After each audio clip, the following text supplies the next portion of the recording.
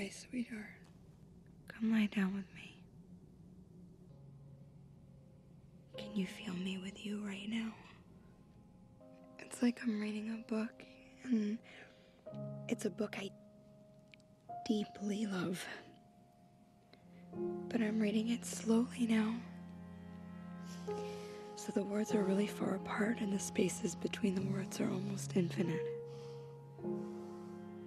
I can still feel you and the words of our story, but it's in this endless space between the words that I'm finding myself now. It's a place that's not of the physical world.